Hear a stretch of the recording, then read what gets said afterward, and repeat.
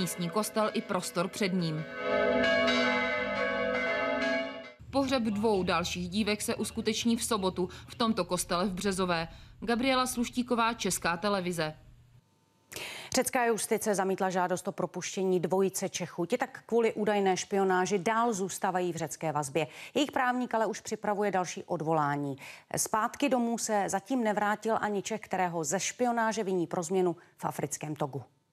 Rodiče Martina Pezlara a Ivana Buchty už dva měsíce doufají, že se jejich synové vrátí domů. Poslední telefonát z Řecka ale naděje mi otřásl. Ve středu volal a to právě mi říkal, že potřebují zachránit. Oba Češi už dostali odpověď na odvolání, kterým se bránili proti nařčení ze špionáže. Odpověď řeckých úřadů, kterou ale slyšet nechtěli. Zamítnuto.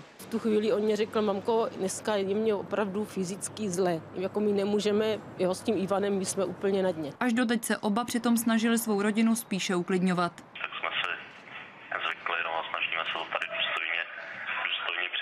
Za svými syny do Řecka teď letí znovu oba otcové. Chtějí jim dodat energii. Povezou taky praktické věci, jako teplé oblečení. V té celé, co prostě jsou eh, umístění, tak eh, je okno, v kterém není eh, skleněná výplň, čili tam táhne celou noc od moře. Martina Pezlara a Ivana Buchtu v řeckém vězení zatím nerozdělili. A to je podle Jiřího Cetla, který byl loni v Zambii v podobné situaci pro psychiku klíčové. Nejdůležitější je prostě vydržet, aby udržovali takovou takovou jako sounáležitost mezi sebou, nenechali se rozdělit. Právní bitva, která má dostat oba Čechy zpět domů, dál pokračuje. Ministerstvo zahraničí spolu s právníkem připravují nové odvolání. V těchto dnech je to připravované a bude to podáno. Na rozhodnutí úřadů v africkém Togu čeká taky Radim Tobolka z Hradecké univerzity. Toho v sobotu taky kvůli údajné špionáži zadržela tajná policie. Ministerstvo doufá, že jeho případ by se mohl vyřešit do několika dní. Jitka Sásová, Česká televize.